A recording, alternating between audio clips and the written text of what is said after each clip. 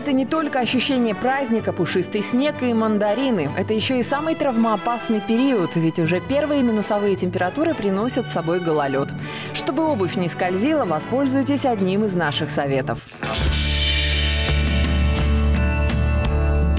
Сейчас во многих магазинах можно приобрести специальные ледоступы или ледоходы. Эта конструкция обычно изготавливается из резины, часто ее дополняют шипы. Они создают прекрасное сцепление со скользкой поверхностью, чем позволяют избежать травм.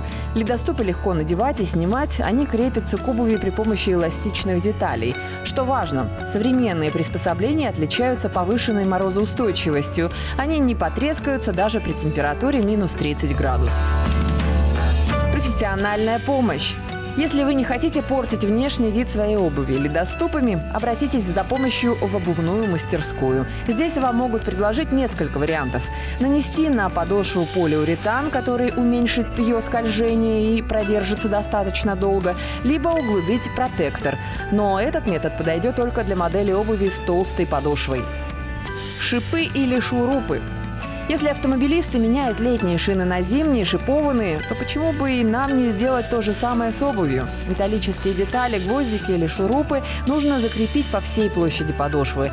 Важно, чтобы она была достаточно толстой и плотной. Лучше, если эти манипуляции будет выполнять профессионал. Важно помнить, что этот способ годится лишь для уличной обуви. В помещении шипы могут испортить половое покрытие. Спреи. Можно прибегнуть к помощи специального спрея против скольжения обуви. Они часто продаются в обувных магазинах и довольно доступны по цене. Единственный минус – в зависимости от качества их может хватить не более чем на одну-две прогулки по городу. Выбирайте обувь из эластичных и морозоустойчивых основ. Полиуретан, каучук и все виды резины предназначены для температуры до минус 15 градусов. С более сильными морозами справится подошва из термоэластопласта. Выбирайте модели на широкой подошве, которая имеет большую площадь соприкосновения с поверхностью. Глубокий рисунок протектора добавит шансов обойтись в холода без травм. Часто можно услышать советы – натереть подошву половиной сырого картофеля, побрызгать лаком для волос или пройтись по подошве наждачной бумагой.